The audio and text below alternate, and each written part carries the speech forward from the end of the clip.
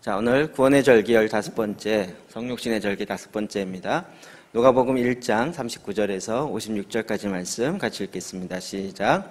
이때 마리아가 일어나 빨리 산골로 가서 유대 한 동네에 이르러 사가랴의 집에 들어가 엘리사벳에게 문안하니 엘리사벳이 마리아가 문안함을 들음에 아이가 복중에서 뛰노는지라 엘리사벳이 성령의 충만함을 받아 큰 소리로 불러 이르되 여자 중에 내가 복이 있으며 내 태중의 아이도 복이 있도다. 내 주의 어머니가 내게 나아오니 이 어찌 되리니까. 보라 내 문안하는 소리가 내 귀에 들릴 때에 아이가 내 복중에서 기쁨으로 뛰놀았도다. 주께서 하신 말씀이 반드시 이루어지리라고 믿은 그 여자에게 복이 있도다. 마리아가 이르되 내 영혼이 주를 찬양하며 내 마음이 하나님 내 구주를 기뻐하였음은 그의 여종의 비천함을 돌보셨음이라 보라 이제후로는 만세에 나를 복이 있다 일컬으리로다. 능하신 이가 큰 일을 내게 행하셨으니 그 이름이 거룩하시며 긍휼하심이 두려워하는 자에게 대대로 이르는도다. 그의 팔로 힘을 보이사 마음의 생각이 교만한 자들을 흩으셨고 권세 있는 자를 그 위에서 내리치셨으며 비천한 자를 높이셨고 줄이는 자를 좋은 곳으로 배불리셨으며 부자는 빈손으로 보내셨도다. 그 종 이스라엘을 도우사 긍휼히 여기시고 기억하시되 우리 조상에게 말씀하신 것과 같이 아브라함과 그 자손에게 영원히 하시리로다 하니라. 마리아가 석 달쯤 함께 있다가 집으로 돌아가니라. 아멘. 아, 네. 이제 지난주에 계속 이렇게 시리즈로 연결돼 있고 특히 누가복음 1장의 성육신의 절기에 굉장히 중요한 건 누가복음 1장입니다. 누가복음 1장이 80절까지 있는데 계속 그 흐름으로 가고 있습니다. 예수님의 탄생과 관련돼서 아, 은혜 위에 은혜로라 라고는 말씀이 있는데 이 말씀 자체가 음, 은혜가 머물러 있는 그 위에 은혜가 더 머물러서 은혜의 연결고리가 연결고리가 예, 그 연결이 되어서 더 큰 은혜 가운데 들어가게 된다는 것이죠. 이게 속사람으로 이야기하면 하나님의 말씀이 예, 잉태되어서 착상될 뿐만 아니라 그것이 이제 내 안에 그리스도의 형상으로 나타나게 되는 예, 그 결과로 나타나게 되는 것을 은혜 위에 은혜 은혜로다라고 말하게 되는 거죠. 우리의 성육신의 절기에 하나님의 말씀이 우리 안에 들어오게 되어지고 이 말씀이요 1년을 계속 갑니다. 그리고 그 위에 은혜 위에 은혜가 덧입혀져서 그것이 나, 나에게 나타나는 말씀이 내 안에 나타나는 실제의 삶이 드러나게 된다는 것입니다. 그런 의미에서 그 모델이 되는 것은 어, 마리아와 우리 엘리사벳의 이야기를 통해서 우리에게 아주 음, 실제적인 샘플을 우리에게 보여주고 있습니다. 자, 우리가 읽었던 우리 39절을 보면 예, 이때 마리아가 일어나 빨리 산골로 가서 유대 한 동네에 이르러 사가라의 집에 들어가 엘리사벳에게 문안하니 이때 마리아가 빠, 일어나 빨리 산골로 가서 뭔가 급박하게 일이 진행되고 있다는 것을 성경은 지금 얘기하고 있습니다. 이때에 빨리 산골로 가서 이런 것들이죠. 자, 왜 마리아가 엘리사벳에게 찾아갔을까요? 그리고 어, 여기에는 없지만 제가 이렇게 궁금중에 산골은 또 어딜까? 예. 그러니까 지금 음, 사가랴와 엘리사벳이 있는 집이죠. 예. 그리고 이것은 어딜까요? 세례 요한의 탄생한 출생지겠죠. 예. 제가 좀 조사해 보니까 예, 그것은 어, 에베스, 그 예루살렘에서 서쪽으로 4km 정도 가면 엥케림이라는 포도원의 셀미라는 지역이 있는데 그곳에 이 세례 요한이 탄생한 곳이 있다라고 추정하고 있습니다. 거의 확정적인 것 같아요. 자, 이스라엘의 안식년으로 잠깐 있을 동안에 길을 잘못 들어서 이스라엘이요, 이, 그, 러시아어 때 출퇴근 시간 때는 길이 엄청 밀립니다. 네. 그래서 이제, 어, 어, 그 시간대가 되면 거기를 피해서 가는 게 지혜로운데 며칠 있다 보니까 그 감이 오더라고요. 그래서 이제 내비, 저기 내비게이션을 따로 찾아보니까 뭐 이렇게 기, 따로 길을 인도하더라고요. 야, 여기 좋다. 새길이다. 그리고 갔는데, 아, 새끼링 새끼리였는데 산 꼭대기로 올라갔다가 그래서 저 뒤로 해서 저희 숙소로 딱 들어가는 길이었는데 네, 그랬는데 지금 돌이켜보면서 어 거기가 앵케림이었어 지역이요 어, 길이 막 산 꼭대로 갔다 산 밑으로 갔다가 막 진짜 낭떠러지 데 가다가 숲이 우거 굉장히 웅창한 그 지역을 훅 지나가는데 야 예루살렘에도 이렇게 숲이 웅창한 데가 있구나 음, 그리고 제가 이제 앵케림이라는 단어 익숙하신 분이 익숙하죠 예. 동산교회 수양관 이름이 앵케림이잖아요 예. 그래서 아 정말 뭐 그런가 보다 이러고 이제 했었는데 바로 거기에 세례 요한의 출생지라고 얘기하는 기념 교회도 있고 또 마리아가 엘리사벳을 방문한 아, 그 거기에 기념 교회도 있고 굉장히 유명한 실제 이제 성지에 해당되는 곳이죠. 음, 자 이때에 이때가 언제일까? 이때 우리 지난주에 읽었지만 또 익숙하지 않으니까 그 앞에 35부터 37절까지 읽어볼까요? 시작. 천사가 대답하여 이르되 성령이 내게 임하시고 지극히 높으신 이의 능력이 너를 덮으시리니 이러므로 나실 바 거룩한 이는 하나님의 아들이라 일컬어지리라. 보라 내 친족 엘리사벳도 늙어서 아들을 배웠느니라. 본래 임신하지 못한다고 알려진 이가 이미 여섯 달이 되었나니 대저 하나님의 모든 말씀은 능하지 못하심이 없느니라. 예. 어, 지난주에 이야기했던 걸 다시 잠깐 좀 자꾸 기억을 대세 좀 끌, 끌어와야 됩니다.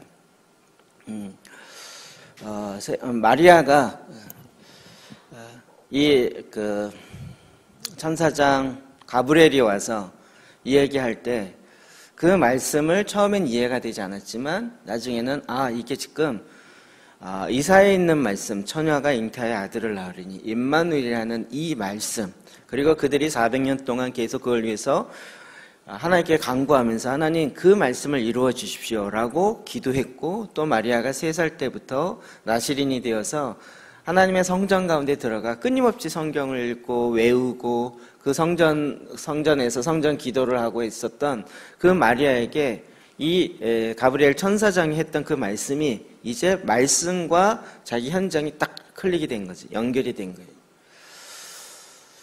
이런 일이 어떻게 가능하겠습니까? 그랬을 때 성령이 내게 임하시고 지극히 높으신 능력이 너를 덮으리니 음.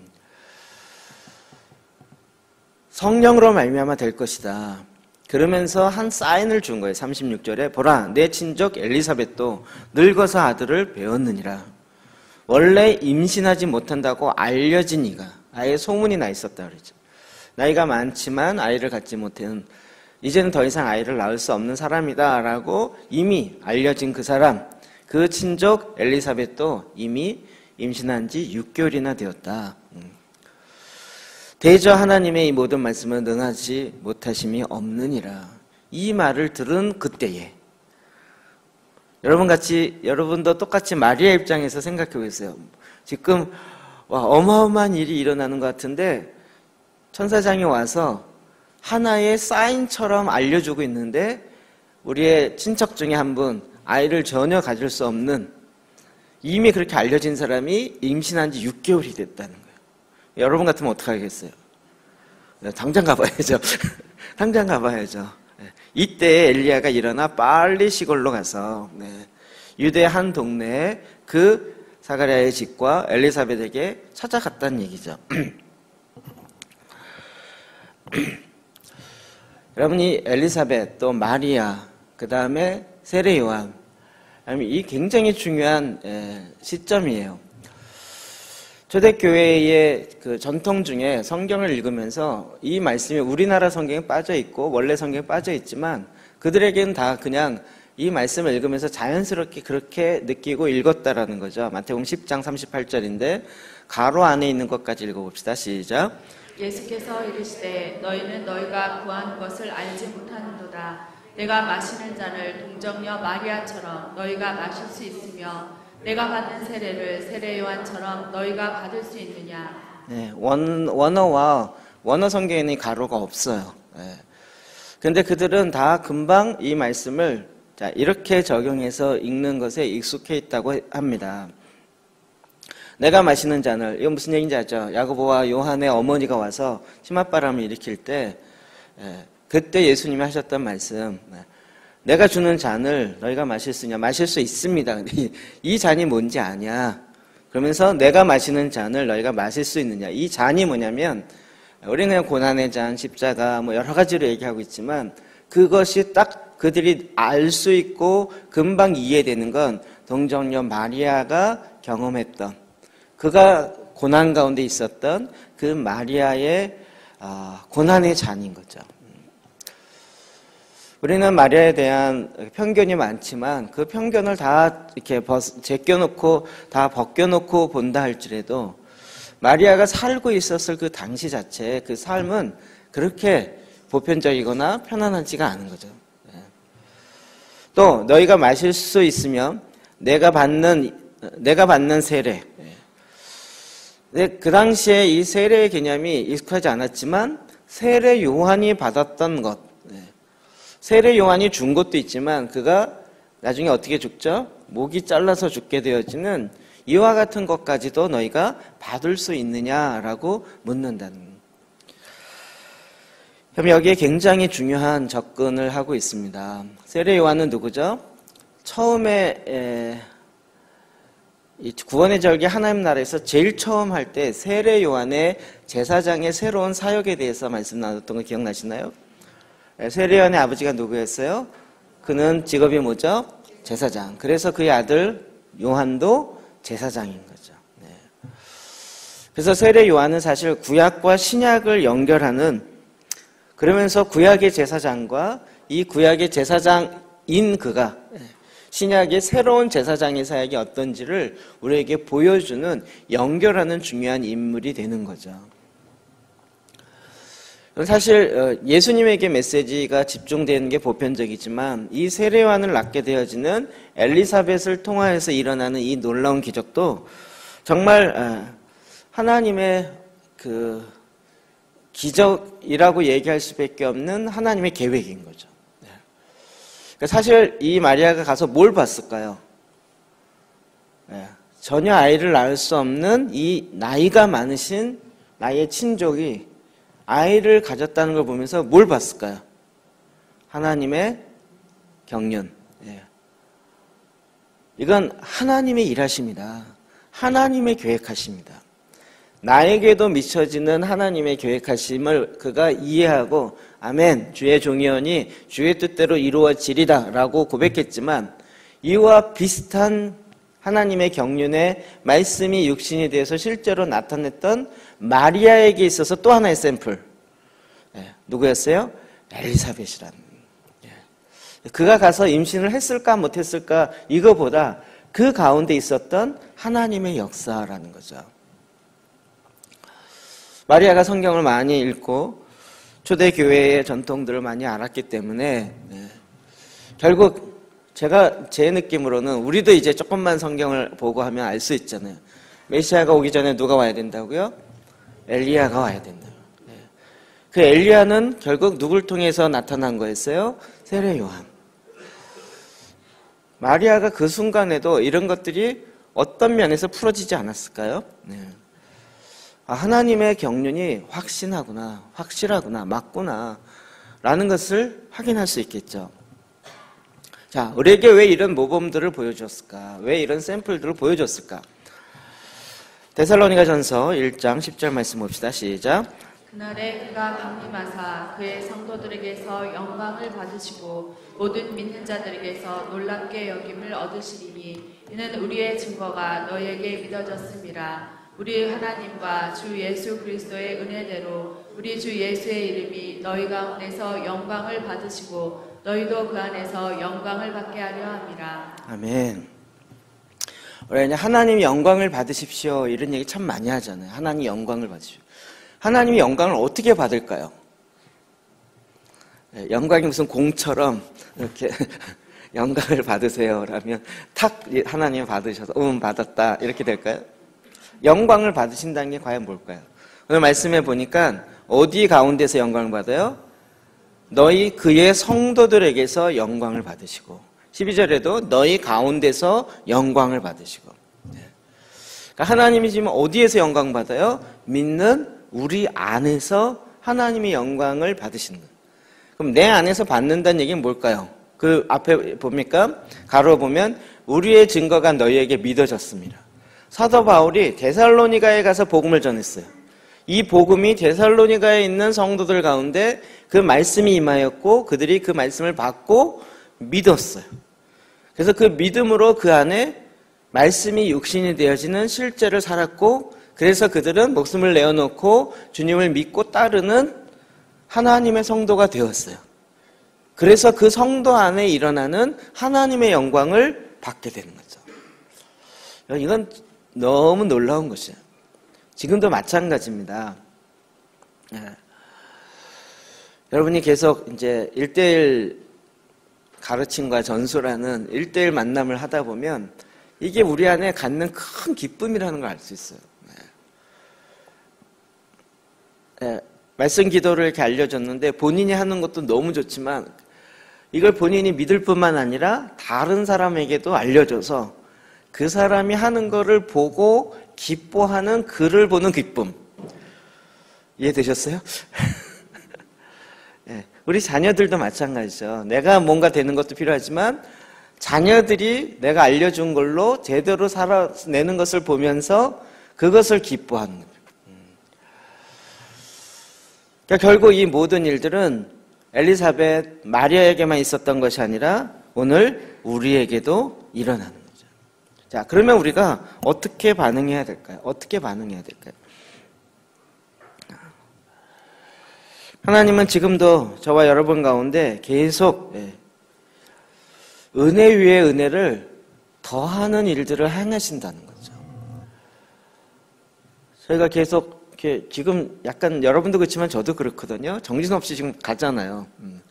지금까지 은혜 주신 거 너무 너무 많습니다. 그런데 하나님은 은혜 위에 은혜를 더하 부으시는 거예요. 우리 또 이게 왜 은혜입니까? 그리고 막 가면서 헉헉 거리면서 가는데 또 은혜 위에 은혜를 더 부으시는 거잖아요. 네. 우리는 어쨌든 헉헉 거리면서 안 가는 게 아니라 헉헉 거리면서 가는 게 중요한 거죠. 네. 대부분은 반응을 안 하거나 어 이젠 고만 고만 네, 이제는 안 할래요라고 하는데 예, 일단은 뭐 우리는 주님 오시는 순간까지 가봅시다 이거잖아요. 하나님께서는 그 특별한 것들 계속 붓기를 원하세요. 은혜 위에 은혜를 더 붓기를 원하세요. 가만히 보면 성경에 이런 예들이 굉장히 많이 있고 또 교회사에서도 많이 있어요. 윌리엄 캐리 같은 현대 선교의 아버지라고 하는 네. 인도에 가서 선교를 하는 그 전에는 예, 현대 선교의 개념이 그러니까 대부분 교단에서 하거나 그 안에서만 머물렀지 소위 말하는 교단을 넘어서 가는 선교가 없어요.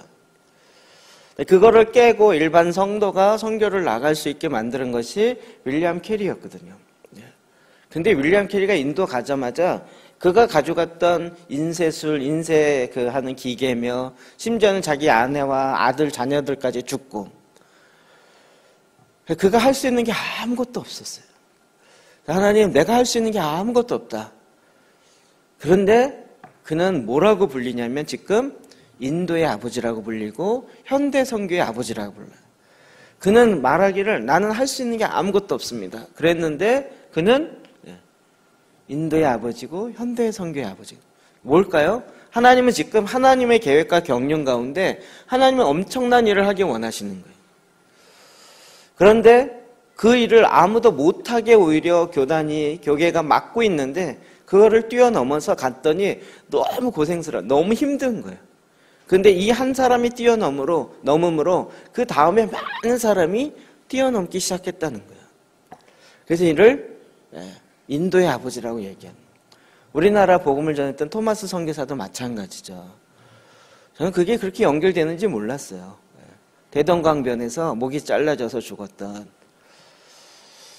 우리 그 목 베는 사람을 뭐라 그러죠? 네? 망난이라 그래요? 목을 자르는 사람 있잖아. 참수하는 건데 그 자르는 그 사람을 망난이라 그래요? 크게 얘기해 보세요. 백정, 네, 백정. 백정 소잡은 사람이에요? 망난이라 그래요? 네. 그 사람들은 예, 소 잡는 사람 백정도 그랬지만 소 잡는 사람도 인간 취급을 안 해요. 우리나라도. 그런데 이 사람의 목을 치는 사람은 특히 예, 인간 취급을 안 하는 그 순간에 예, 서양 귀신이 왔다 그래서 그의 귀신을 그 머리를 치는 일이 바로 우리가 한 거죠. 근데 그 사람이 저는 토마스 선교사라는 걸 이해를 못했어요. 근데 그가 복음 전했던 일이 예, 그러니까 지금 이 이야기는 거예요. 그 토마스 선교사 그 안에서 하나님께서 영광을 받으신 거예요. 그는 죽으면서 그의 품에 있는 성경을 그 글도 모르는 사람에게 주었지만 이것이 퍼져 퍼져 퍼져가서 오늘 한국 교계에 이렇게 놀라운 하나님의 복음이 퍼진 거죠. 그래서 우리가 토마스 선교사를 한국 성, 개신교 선교의 어, 첫 번째 선교자라고 이야기하잖아요. 그러니까 그는 와서 한 일이 없어요. 그는 와서 목이 잘라져서 죽은 것밖에 없어요. 그는 나는 한 게 없습니다라고 얘기할 수밖에 없을지 모르지만 하나님의 계획과 하나님의 경륜은 그 가운데서 하나님의 영광을 받으시고 그 핏값을 통하여서 이 땅에 복음의 씨앗들이 하나님의 영광을 받는 일들이 일어나게 된다는 거죠. 이런 일들이 왜 우리에게 모범을 모델을 주셨을까요? 저와 여러분을 통해서도 지금도 일하는 패턴들이 같은 거죠. 우리 마음 속에 하나님께서 말씀을 심겨주시고 그 말씀을 통하여 일하게 하시는 거예요. 제가 요즘에 이런 예를 많이 들다 보니까 별의별 예가 많이 생각나요. 제가 제일 웃으면서 얘기하는 게 김연아 선수입니다. 김연아. 네. 가끔 얘기했지만 외부 가면 많이 얘기 많이 하는데 김연아 선수. 우리는 김연아 뭐 대단하다고 얘기하면서 되게 좋아하죠. 근데 여러분 느끼고 저도 느끼겠지만 저희 어렸을 때그 뭐, 뭐야 동계 올림픽 아예 구경도 못했고 TV에 가끔 나올 때 보면 동양인은 아예 없었어요.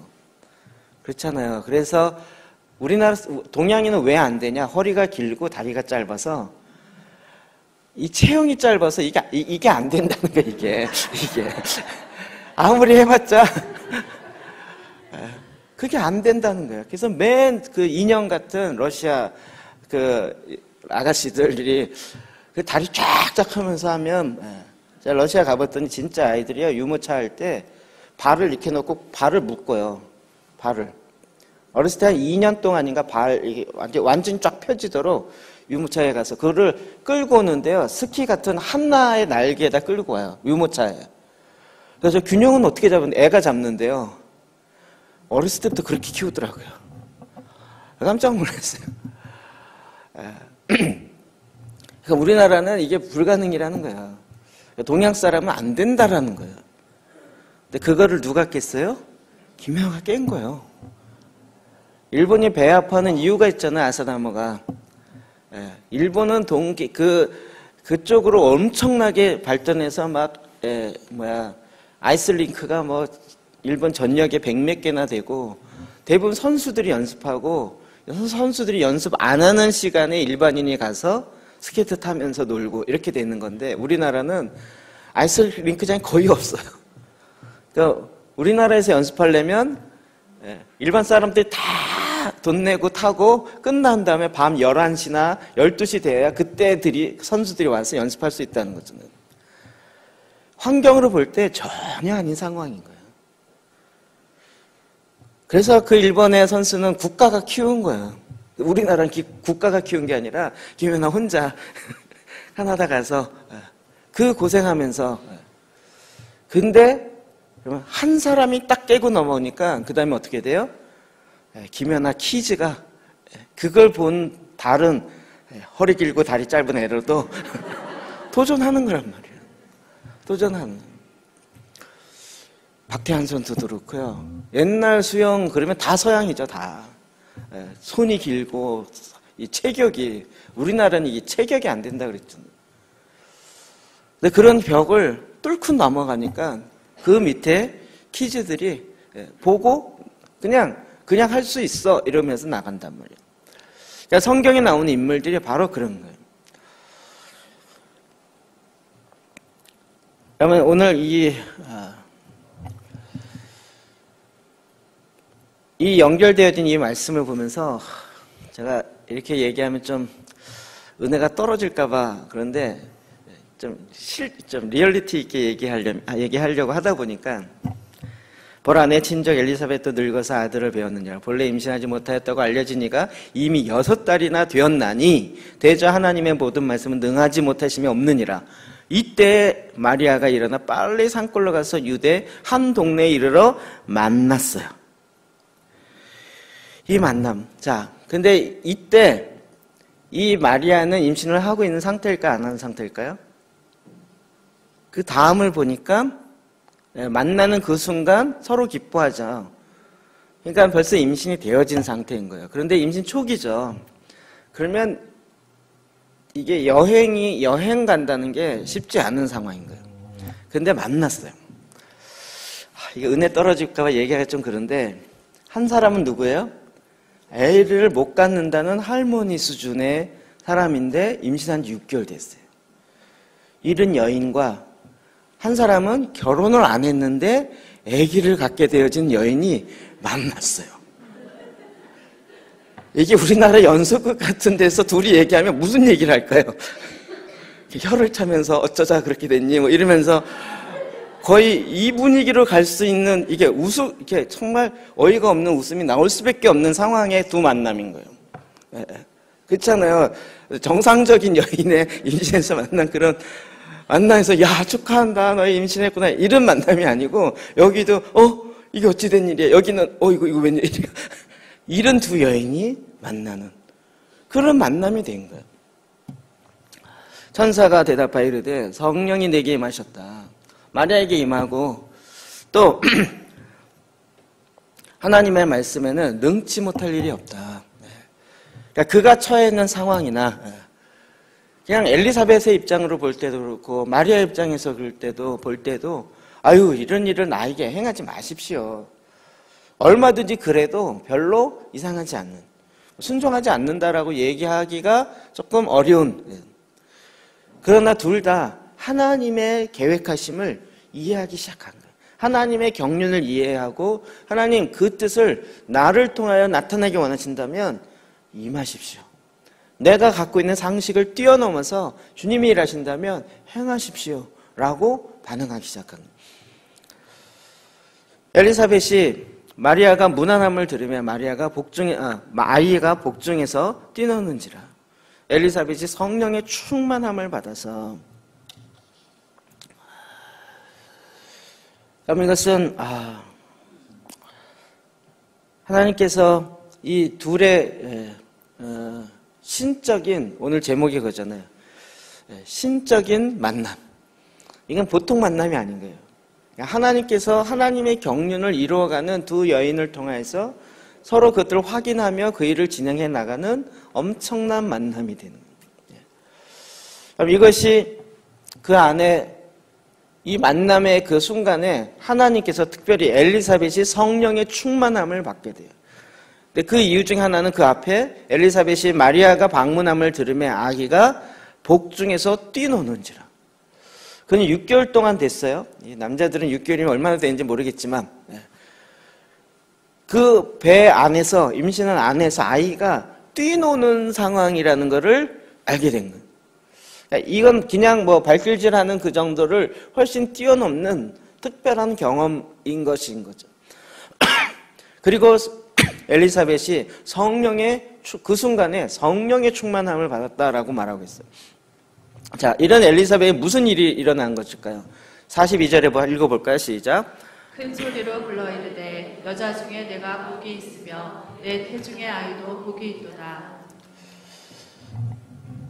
어찌 보면 제가 보기에는 마리아가 얘기를 안 했던 것 같아요.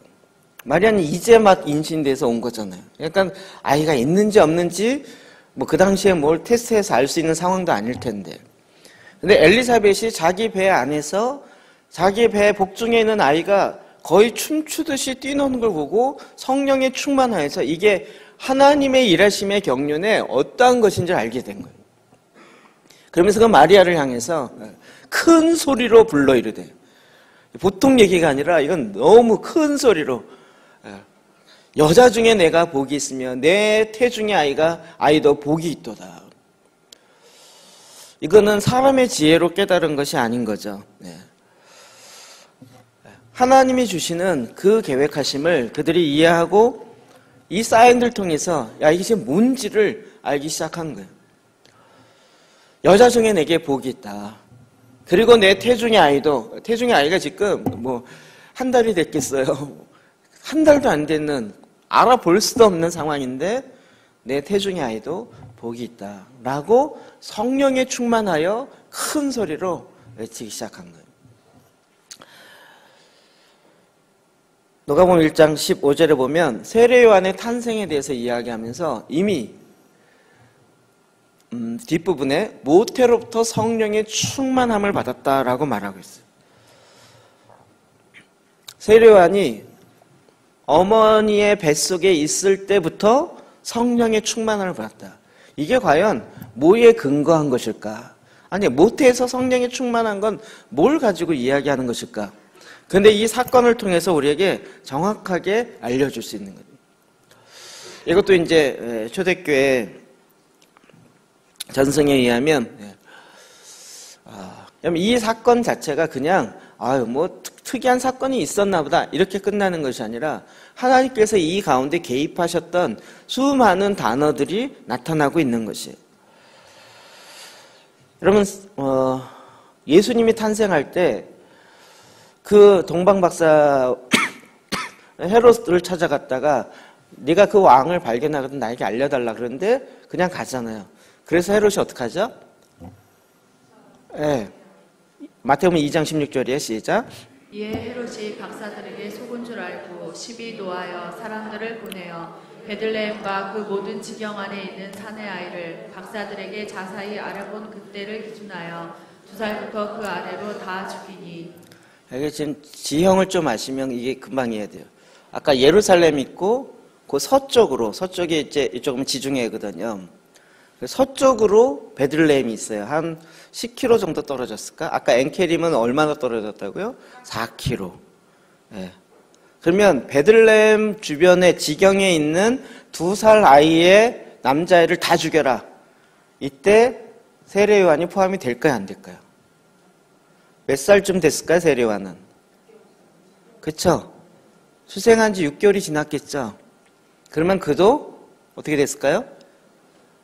예, 네, 죽여야 될 대상 중에 하나죠. 그래서 초대교회 문헌에 보면 그는 예, 광야로 보내졌다는 거예요, 광야로. 광야에서 6개월 된 아이가 그때 거기서 자라야 돼요. 거기서 어떻게 자랐을까요? 물론 부모에 의해서 잘하셨지만 광야에서 아이를 키우는 게 쉬운 일일까요? 이런 부분은 정말 이렇게 신비로운 부분일 수밖에 없어요. 그래서 이제 초대교회 문헌에 보면 네, 천사가 직접 키웠다라는 얘기가 참 많이 나요. 어렸을 때부터 네, 천사가 네, 어렸을 때부터 근데 그 천사의 그 도움은 어디서부터 왔는가? 바로 어디에서 만남이 일어나요? 예수 그리스도와 세례 요한이 어머니의 태석에서 만남이 일어나요. 심지어는 이런 해석도 있어요. 네, 성경에 없는 얘기니까 네. 세례 요한이 언제 성령의 충만을 받았을까? 메시아로부터 태중에서 직접 받았을 거라는 거예요. 어... 뭐 하여튼 어느 정도는 이해가 될 것 같아요. 이 일을 이룰 수 있도록 성령께서 계속 그 가운데 개입해 오신 거죠. 아까 이야기한 것처럼 세례요한은 구약과 신약을 연결하는 자예요. 구약의 제사장과 신약의 제사장이 어떠해야 되는지를 새로운 제사장 사역을 우리 가운데 풀어놓는 자였어요. 새로운 패러다임을 알려주는 자였어요. 광야에서 광야에서 어렸을 때부터 광야에서 자라고 하나님의 그 은혜 가운데 자라면서 새로운 계시와 새로운 하나님의 일하심들을 그의 마음속에 갖게 되는 거죠. 세례요한이 사역하기 시작했습니다. 그도 서른부터 시작했다면 예수님보다 얼마나 앞선 거예요? 6개월 앞서 사역한 거죠. 그가 나타나자마자 회개하라 천국에 갖고 왔느니라 이 메시지가 그냥 나오겠냐고요. 그리고 이 메시지 앞에 유대의 많은 사람들이 와서 세례를 받아요. 이 얘기는 유대, 아, 유대 사회 안에 회개 역사가 일어났다는 거예요. 이게 세례 요한의 메시지를 통해서 됐는데 그냥 외쳐지는 소리로만 된 것이 아니라 그는 어렸을 때부터 성령에 충만하며 광야에서 따로 구별되어지고 운동되어지고 그곳에서 주님을 만나면서 그 안에서 하나님의 경륜과 하나님의 일하심을 그가 지속적으로 훈련된 거죠. 그러니까 건 30년 정도를 광야에서 하나님과의 만남 속에서 계속 하나님이 자기를 보내실 때까지 기다리는 예. 어찌 보면 30년간의 훈련이 있었다는 거죠. 예. 그냥 어느 날 갑자기 툭 나타나서 회개하라 천국에 가까우니라 이렇게 된 것이 아니라 음. 광야에서 주님과의 깊이 있는 만남이 있었던 그럼 성육신의 신비가 그런 것 아닐까요? 주님의 말씀이 우리에게 임하시면 자 이제 이 말씀이 좀 이해가 되는 것 같아요. 아, 우리는 말씀이 임하면 주님, 네, 할렐루야, 내가 말씀이 없습니다. 말씀을 막 주변에 사방팔방 다 얘기하고 다녀. 네. 속된 말로 세요. 아들 박사님이 기름 부심이 말때 적어도 3년 이상은 말하지 말고 네. 혼자 갖고, 갖고 있고 그것을 확인할 뿐만 아니라 자기의 인격을 통해 드러날 정도까지 내면화 작업을 해야 된다고 이야기합니다. 그러니까 우리는 너무 빨리 일어난다는 거죠. 너무 빨리. 네. 주님 나에게 이렇게 말씀하셨어요.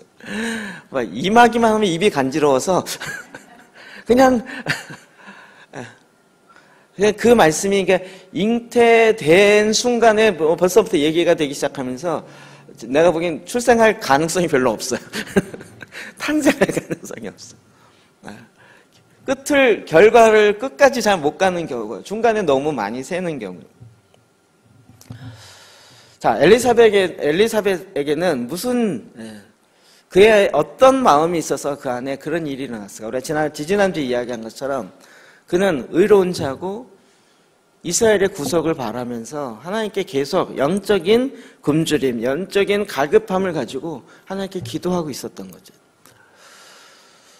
영적인 갈급함, 영적인 굶주림들이 결국은 하나님의 일하심을 그의 마음으로 받아들일 수 있는 그 마음의 준비가 되는 거죠. 네. 오늘 누가복음 1장 43절 볼까요? 아주 독특한 표현이 있습니다. 저도 깜짝 놀랐어요. 45절까지 읽어봅시다. 시작. 내 주의 어머니가 내게 나아오니 이 어찌되니까 보라 내 무난하는 소리가 내 귀에 들릴 때에 아이가 내 복중에서 기쁨으로 뛰놀았도다. 주께서 하신 말씀이 반드시 이루어지리라고 믿은 그 여자에게 복이 있도다. 네. 마리아가 오는 걸 보면서 그가 뭐라고 얘기해요? 42절에 보면 위치를 위에 보세요. 큰 소리로 불러 이르되 여자 중에 내게 복이 있으면 내 태중의 아이도 복이 있도다. 내 주의 어머니가 내게 나오니. 나의 주인이 누구예요? 메시아죠. 그 메시아의 어머니가 지금 나에게 온다라고 그 순간에 그의 입술을 고백. 이게 무슨 얘기일까요? 자, 아까 좀 웃었지만 음, 연세 많으신 아이를 못 갖는다는 분이 아이를 가졌어요. 그게 이제 6개월이나 됐어요. 그런데 결혼도 안 한 아가씨가 찾아왔어요. 친척이. 근데 벌써 아이, 내 태중에 있는 아이가 뛰놀면서 이 태중에 있는 아이가 누구인지를 그가 영적으로 딱 알았어요. 누구예요? 메시아. 메시아를 임신했다는 걸 알겠어요. 이게 하나님의 경륜이라는 거 이미 아시겠죠? 예, 이사야 선지자를 통해서 이야기했던 처녀가 잉태의 아들은 그것을 이게 어찌 가능하냐 이렇게 얘기한 게 아니라 엘리사벳이 성령에 충만하여 이걸 알게 된 거예요. 그러니까 그 태중에 있는 아이는 지금 누구예요? 메시아. 근데 그를 잉태하고 있는 그 여인은 내 주의 어머니가 된 거예요. 그런데 지금 나이로 비교하면 어떻게 돼요?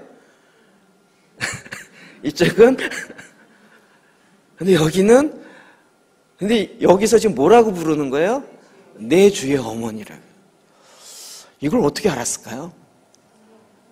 그렇죠? 성령으로 말미암지 않고는 어떻게 이렇게 고백할 수 있겠냐?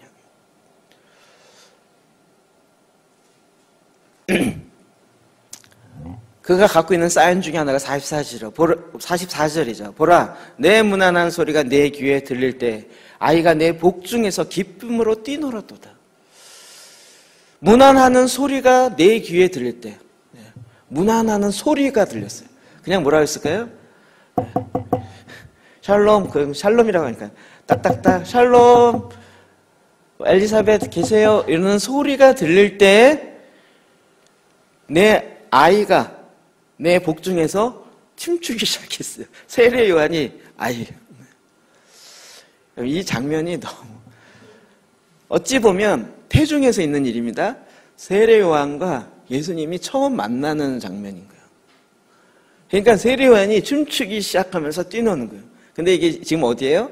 태중이에요. 예.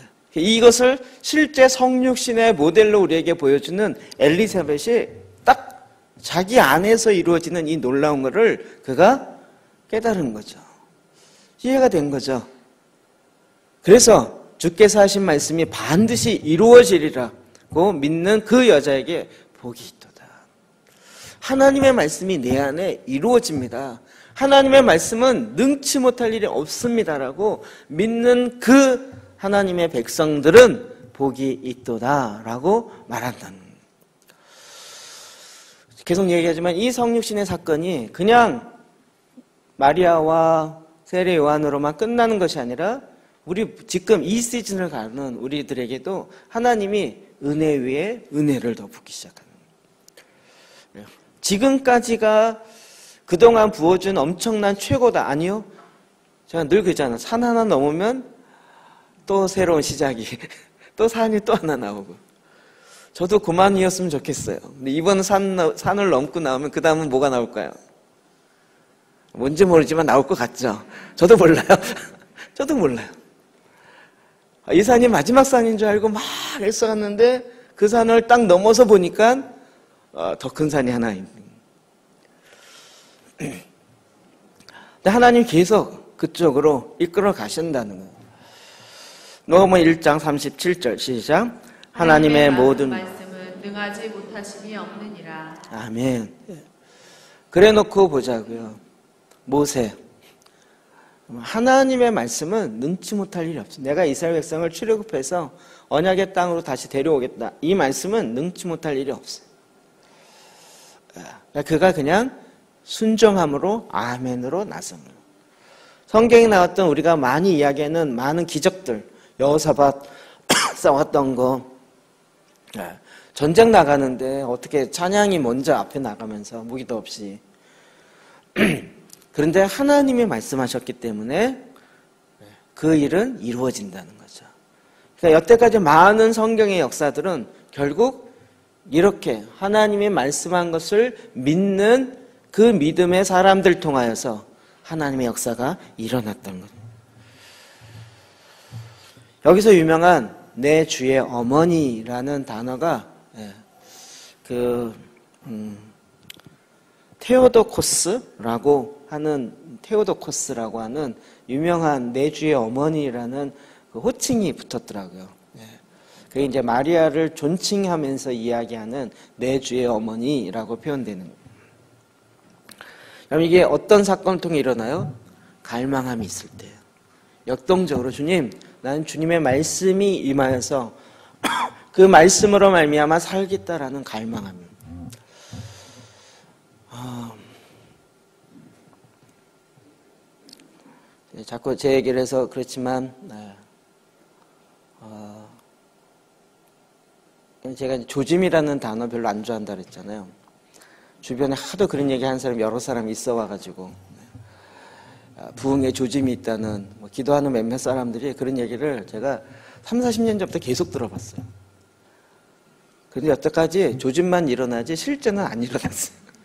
맨 조짐이 있대요. 부흥에 징조가 있대요. 그래서 저도 혹 그런가 혹 해가지고 아 그런가 보다 뭔가 일어날라 보다 예, 안 일어나요. 예, 그런 모양 거의 깨지고 사라지고 막 이러더라고요. 근데 이제 요즘 저희 진행되는 걸 보면서 어 이게 뭔가 조짐인데 이런 생각이 저한테 들면서 말하기가 두려운 거예요 이게. 아, 음. 근데 제 안에 갖는 갈망은 뭐냐면 저는 조짐만 보길 원하지 않아요. 실제를 봐야 되지 않겠냐고요. 그리고 실제가 일어나야 되지 않겠냐고요. 예. 언제까지 우리가 조짐만 보다가 아, 징조만 보다가 아, 징조였어 라고 끝나는 것으로 끝나겠냐고. 예. 하나님 지금 이런 일들을 계속 우리에게 진행해 나가는 것은 예. 정말 하나님의 이 시즌에 일하고자 하는 하나님의 그 말씀, 하나님의 그 일, 그것을 우리 가운데 이루고자 하는 그 갈망이 있다는 거죠. 그 갈망이. 뭔가 또 새로운 것을 하고자 하는 새로움의 새로움이라는 것 자체가 나에게 우상이 돼서 또 새로운 것, 또 새로운 걸 쫓아가려고 하는 것이 아니라 정말 하나님이 이루시겠다고 하는 그 마지막 갈망이요. 그것을 이루어 가야 되는 거잖아요. 결국 엘리사벳도 마리아도 그 갈망이 주님의 말씀하심을 내 안에 이루십시오라고 기도하게 됐던 거죠. 그의 순종이 하나님의 성육신의 역사를 우리에게 나타낸 것이에요. 그래서 이 이야기를 듣는 마리아가 그 즉석에서 찬양하기 시작하는 거예요. 이게 이제 마리아의 노래, 아주 유명한 마리아의 노래입니다. 우리 46절, 47절만 봅시다. 시작. 마리아가 이르되 내 영혼이 주를 찬양하며 내 마음이 하나님 내 구주를 기뻐하였음은 예, 찬양 중에는 이게 뭐가 있는지 혹시 아세요? 내 영혼 주 찬양하며 하나님 옛날 곡인데 예, 하나님 내 구주를 기뻐함은 능하신 이가 큰일 행하시니 그 이름 기뻐해 모르시네요? 내 영혼 주 찬양하며 내 영혼 주 찬 이게 예수님 찬양 그 다음에 나왔던 그 정도 오래된 곡인데 음. 근데 이 마리아의 찬양은요 사실은 마리아가 그냥 나온 것이 아니라 한나의 찬양의 내용을 인용해서 하기 시작한 거예요. 한나가 어, 사무엘을 낳으면서 사무엘 낳게 되는 그 배경에서 나왔던 찬양. 아, 사무엘상 2장 1절입니다. 시작. 한나가 기도하여 이르되 내 마음이 여호와로 말미암아 즐거워하며 내 뿔이 여호와로 말미암아 높아졌으며 내 입이 내 원수들을 향하여 크게 열렸으니 이는 내가 주의 구원으로 말미암아 기뻐함이니이다. 아멘. 주의 구원으로 말미암아 기뻐하리라. 여러분 자기가 사회를 낳은 것으로 주님의 구원이 이루어졌다 이렇게 얘기할 수 있을까요? 근데 이건 뭐예요? 하나님의 큰 경륜을 한나도 깨닫게 된 거죠. 그래서 사무엘을 통해서 마지막 사사요 또 하나님의 왕정 국가로 나아가게 되는 예, 첫 번째 선지자로 하나님의 일을 하게 되는 그 사무엘을 낳게 되어지는 한나의 기도요. 똑같은 패턴이 지금 누구죠? 세례 요한을 통해서 마지막 구약의 제사장 가문에 이제 신약의 새로운 제사장적 사역을 이루어가는 하나님의 구원의 역사. 그리고 이제 메시아가 이 땅에 이루어지게 오시게 되어지는 그 실제 역사를 보게 되는 거죠. 여러분 이게 하나님의 경륜이라는 거예요. 그러니까 이게 그때만 경륜이 있었던 것이 아니라 그때로부터 시작해서 지금까지 계속 오늘날 지금 이 시점에도 하나님의 계획하신 거 하나님의 경륜이 있고 그러면 어떻게 하실까요? 이것을 마음에 받을 수 있는 자를 찾는다는 거예요. 그리고 이것에 대한 갈망이 있는 사람에게 주님, 아, 이게 과학을 뛰어넘고 우리의 내 경험과 내 상식을 뛰어넘는 일이라 할지라도 주님 원하시면 이럴 수 있습니다. 라고 하는 역동적인 그 사람을 통해서 하나님이 일하기 시작한다는. 자, 48절부터 55절까지 중간에 끊었는데 읽어봅시다. 시작. 그의 여종의 부천함을 돌보셨습니다. 보라 이제 흐르는 만세에 나를 복이 있다 일컬으리로다. 그 종 이스라엘을 도우사 긍휼히 여기시고 기억하시되 우리 조상에게 말씀하신 것과 같이 아브라함과 그 자손에게 영원히 하시리로다 하니라. 저희 마리아의 찬양 중에 이해되지 않는 많은 부분이 있는데 이제 이게 조금 이해가 돼요. 그의 여정의 비천함을 돌아보셨습니다. 아니 마리아가 뭐가 비천해요? 오히려 마리아가 그런 상황에 처해진 게 비천하지 않을까요? 근데 자기 자신이 자기 자신의 이 상황을 비천함이라고 이야기하면서 이걸 돌보셨다라고 이야기하는 약간 상황과 반대로 가는 것 같잖아요. 근데 54절 보니까 그 정 이스라엘을 도우사 긍휼히 여기시고 기억하시되 우리 조상에게 말씀하신 것 같이 아브라함과 그 자손에게 영원히 하시리로다. 마리아가 이 놀라운 마리아 찬양을 하면서 지금 이 사건이 무슨 사건이라고 이야기하고 있는 거예요? 내가 지금 아이를 낳는 정도가 아니라 이게 무슨 사건이라고요? 아브라함 때부터 언약 맺으면서 하나님이 하시겠다라고 얘기했던 그것이 지금 일어나는 사건이라는 거예요. 마리아가 이렇게 고백을 하는 거예요. 정말 마리아 대단하지 않아요? 우리 마리아 고만 미워합시다. 마리아가 잘못한 거 아니잖아요. 그 후대 사람들이 이상하게 만들어 놓은 게 많은 거죠. 네. 근데 그의 고백이 놀라운 거예요. 이건 내가 그냥 아이를 낳는다 여기서 끝나는 것이 아니라 이 사건은 뭐라고요? 이스라엘을 도운 사건이라는 거예요. 하나님의 구속 경륜을 이루어가는 그 하나님의 말씀이 이루어지는 이 사건이라는. 그것을 이루시는 하나님을 찬양한다는. 엄청난 믿음의 고백과 하나님을 향한 찬양을 이루는데 이것이 무엇이라고요? 네, 하나님의 경륜을 이루는 거예요. 오늘날 저와 여러분을 통해서도 이 하나님의 성육신의 절기를 통한 이 구원의 역사를 이루겠다는 거죠. 마지막 56절에 보면 마리아가 석 달쯤 함께 있다가 자, 석 달쯤 있었다. 그러면 아, 3개월이 있었구나 이렇게 얘기했는데 엘리사벳 입장으로 보면 얼마나 있었다는 거예요? 예. 네, 그렇죠? 6개월 더하기 3개월이니까 9개월. 해산하기 직전에 이제 자기 집으로 가게 됐다. 어, 하나님이 지금도 이 일을 이루어 가신다. 이 일을 이루어.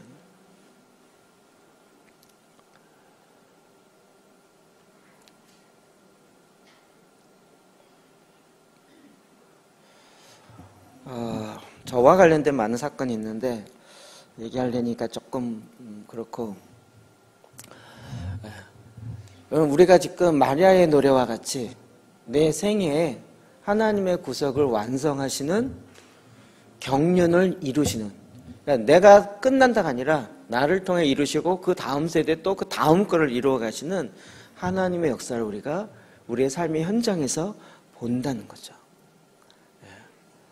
예. 할렐루야 아닙니까? 기가 막힌 할렐루야입니다. 예. 주여.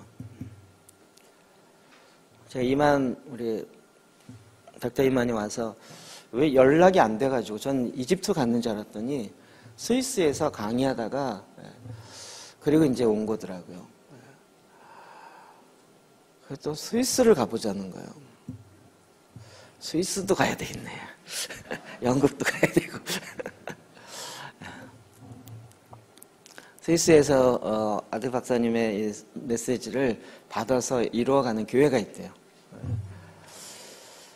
근데 저희가 이제 두 번째 개신교 중에 두 번째라고 들었고 제가 그 첫 번째 교회 피닉스에서 그 음, 한 분 만났었고 그 교회 사역하는 사역자를 그러면서 교회 하는 목사님과 한번 같이 만나보는 게 중요하다. 제가 이 말씀을 준비하면서 아, 이게 또 무슨 조짐이 일어나려고 이러지? 아, 약간 두렵고 떨림이에요. 그래서 주여 말씀이 임하셔서 그런데 아, 임하시면 어떡하지? 이 생각이 한쪽에, 한쪽에, 아, 임하시면 어떡하죠? 어떡하시죠? 여러분, 남들에게 임하는 건 보기 좋죠. 나에게 임하면 어떻게 되나? 이게, 아, 약간, 음, 머리가 하얘지는 순간이 되는 거예요.